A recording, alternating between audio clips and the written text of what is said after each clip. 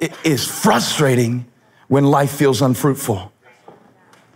There's nothing more fulfilling than bearing the fruit you're meant to bear because of the seed God put in you. But there's nothing more frustrating. And I'm not talking about feeling unfruitful when you haven't sown any seed, because I have no right to be disappointed about the fruit that wasn't born from the seed I didn't sow.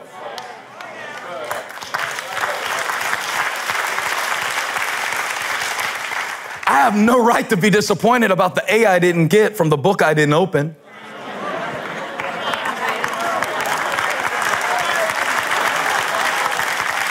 But when I did study, when I was a good person, when I was planted in church, Find a young couple that has been trying to have a baby for three and a half years, struggling with infertility, and one of their couple's friends that they hang out with got pregnant on accident and is complaining about it. The frustration of unfruitfulness. Find, find a man who, who went to school for a certain trade and now is working in an industry that will barely provide for his family. And he's way overqualified for what he's doing. There's nothing more frustrating than feeling unfruitful. Notice I said feeling unfruitful. I didn't say being unfruitful. Because the fact is, some of the times in your life that feel the least fruitful and the most frustrating are actually the times in your life where God is preparing you and tilling you and cultivating your character for the greatest gifts that He's gonna give. Has anybody experienced this? See, it's the difference between being cut off and cut back. Now I want to preach because somebody came into church today feeling cut off. You, you feel cut off from opportunities and cut off from potential and cut off from purpose. But what, but what I, what I, what I want to tell you, like Holly told Elijah when we drove by those crepe myrtles and it looked like those men quit caring about those plants. It looked like that man had lost his mind. It looked like that man had no good sense. What Holly told Elijah is he cut some back so they can grow back better than they ever did before to get them ready for the next season. I came to tell somebody, give me that camera. I came to tell somebody, you're not cut off, you were just cut back. You're not cut off, you were just cut back. God wasn't cutting you down because he's done with you. He was cutting you back because he's got something more in store. Touch somebody say it's just a cutback. And if it's cut back, that means it's coming back. Good measure, pressed down, shake it together, running over. It's coming back. My joy's coming back. My peace is coming back. All right, I'm gonna get them standing in the back before I'm done. It's just a cutback. It's just a cutback. It's, it's just a cutback before church started, right when the choir was singing so beautifully. I, I got struck by a thought. I never do this because I like to worship. I don't like to be preparing my sermon while I'm supposed to be worshiping. I'm supposed to have that done already. But the Lord hit me with something so strong. I said, Go get, I told uh, Buck, go get a notebook. I need to write something down. And I found a post it note and I wrote down, let me go back so I can read it now. This is why I had to write it down, because I need to say it to you just like this Life may make the cut, but God is holding the scissors.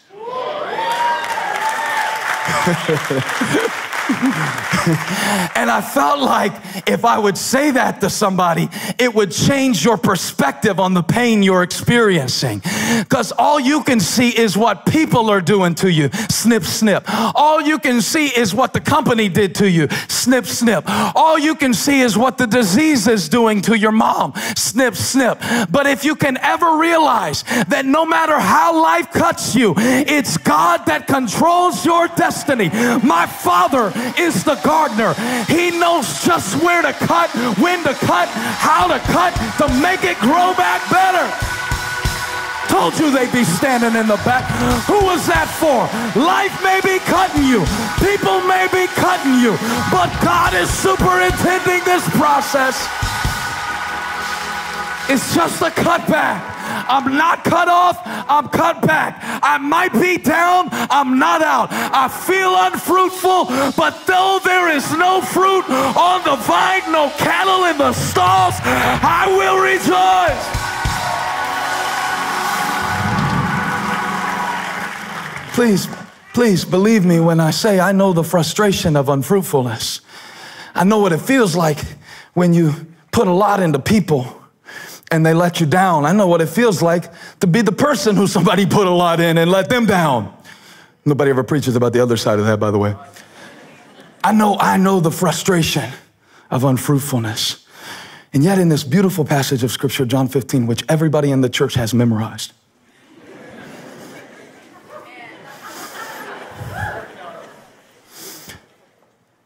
yeah, he said, I'm working on it. In other words, this may take a while. He just proved my subject. This may take a while. Come on, tell the person next to you, this may take a while. I preached last week, the problem is the pattern. So you went home and you tried to change the pattern. By Tuesday, you quit. That didn't work. it's Tuesday. It's been two days since I preached. You're trying to undo 22 years of patterns in two days? This may take a while.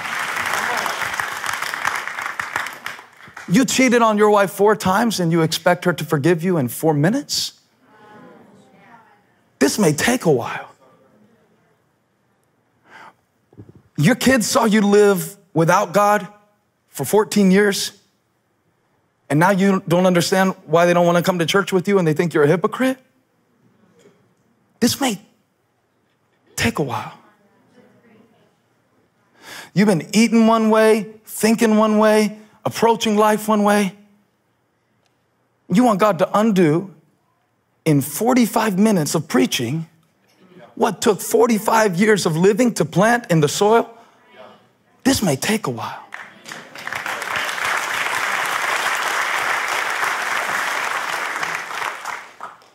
The, the hardest thing in life, I'm shifting to another thought, but it's under the same subject because what, what we're after is fruitfulness.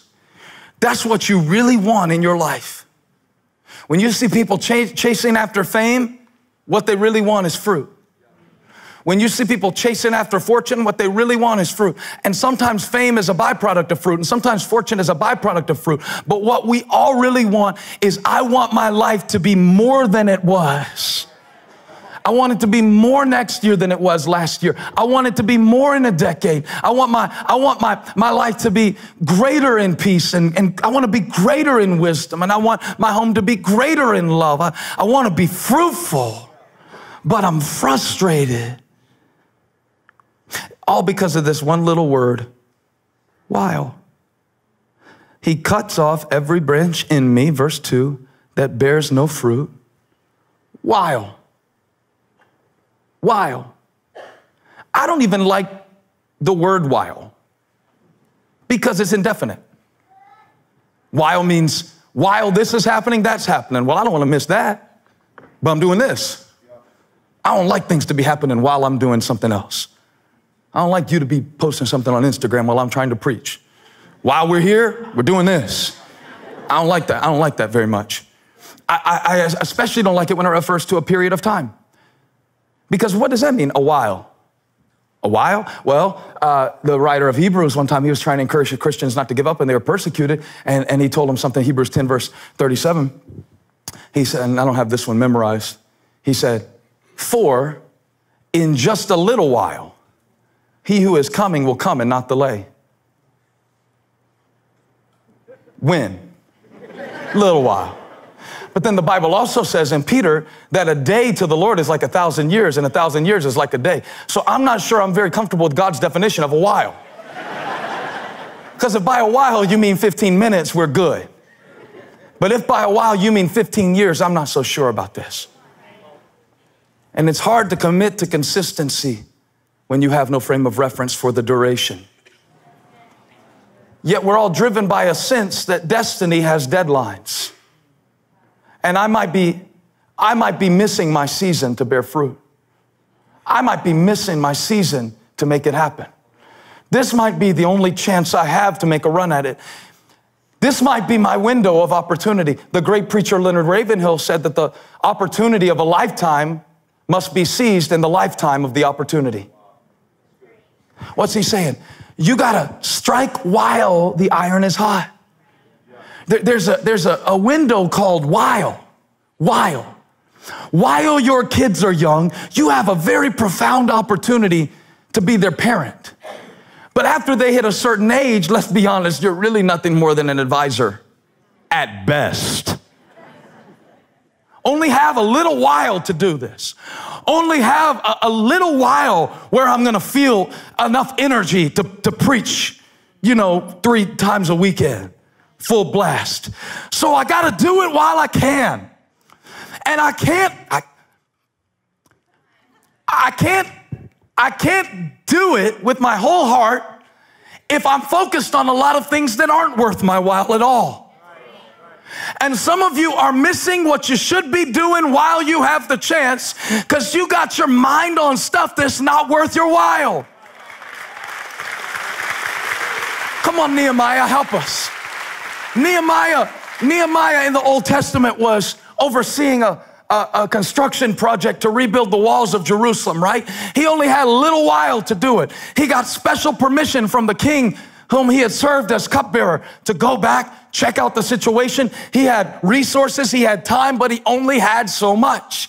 God is an unlimited resource. That's why Jesus is the vine. You are a limited resource. That's why you're the branch. You only have a while. The grass withers, the flowers fade. The days of man are like grass here today, gone tomorrow. I only have a little while. I only I only have a little while for this. I I only, I know it seems long, but it's really only a little while. It's just a little while. So so Nehemiah sets out and begins the great work of rebuilding the walls and is going well. He's fired up everybody in the vicinity except the enemies because when everybody gets fired up about the work of God, there, there, there will be a pushback from the surrounding people who are afraid that they're losing territory because of what God is building. Nehemiah's situation exhibits this because the enemies tried to call him out of where he was supposed to be. And while he was building, they wanted to arrange for him to have a meeting with them and they were conspiring to hurt him. They were conspiring to distract him. They were conspiring to get him off the wall. They were conspiring to try to get his opportunity to expire in, in, in, in, the, in the lifetime of the opportunity. They were trying to get him to waste days. They were trying to get him to, to waste thoughts. They were trying to get him to lose focus. And they said, Come meet with us in, in the plains of Ono. And I love Nehemiah because he said, Oh no. Everybody say, Oh no. Sometimes you got to learn how to tell your enemy, oh no. Oh no, that's not worth my while. Watch Nehemiah. This is a master class on leadership, y'all. So I sent messengers to them. He didn't even have the conversation himself. I'm not even having this conversation. This is not worth my while. He said, I sent messengers to them with this reply I am carrying on a great project. I am building a great family. I am putting my all into getting this degree. I am, am, am, am restoring some stuff that the enemy stole. I am, am carrying on a great project. I'm in the middle of something important and cannot go down. Why should the work stop while I leave it and go down to you? Some of you came off the wall for some stuff last year that wasn't worth your while. And while you were down off the wall, not laying bricks, the enemy was laughing and life was passing. And you spent, you spent 32% roughly of your mental energy having arguments with people who aren't even in your life anymore about what they did to you. And you didn't have the focus to give. One time, David was was getting a report, David in the Bible, King David, he was getting a report from one of his generals that his son, who had rebelled against him, had been successfully taken out. David was so upset about losing his son that he couldn't celebrate the victory that his men had given. And the commander said something to him. He said, he said, you love those who hate you and you hate those who love you. You are giving so much of yourself trying to get approval from people who aren't even paying attention to you that while you're focused on building that image that you think will make them like you, you are losing the moments with the people who really love you. You are so stuck in what happened that you're missing what's happening. And I wanted, I wanted to say to somebody, whoever it is today, that's chasing down opportunities that have long since passed, let it go. It's not worth your while. It's over. It's gone. It hurt. It happened. Yes but it's not worth your while to stand in dead places, regretting dead dreams that will never come to pass. It's not worth your while. Holding on to an offense is not worth your while. Complaining about how you were raised is not worth your while resenting the opportunities that you didn't have is not worth your while. Because while you're focused on that, you can't build this. Every moment you spend on the plains of Ono is a moment you sacrifice that you could be putting another brick on the wall. Now, come on, let's get back to building. Let's get back to construction. Let's get back to the great project God has called you to. Let's get back to what's worthwhile. What's really worthwhile? That's what I want to answer today. What's really worth your while? See, you can't be consistent at everything. So, we're in a series about challenging our inconsistencies. But the first thing to challenging our inconsistencies is to prune the things that shouldn't be a priority. Because if there's too many branches in your life and if there's too many pursuits, it's gonna be sucking all the stuff that should be flowing somewhere else. If there's too many commitments, you won't be consistent in any of them. So God says, like I prune you, I want you to prune your own life. I want you to prune your priorities. I want you to ask the question that even adults rarely stop to ask is this worthwhile? To make decisions at a different level so you can keep commitments at a higher one. Hey, thank you for watching. Make sure you subscribe to this channel so you don't miss a single video or live stream. And share this video with a friend. And don't forget, you can join me live every Sunday. Thanks again for watching.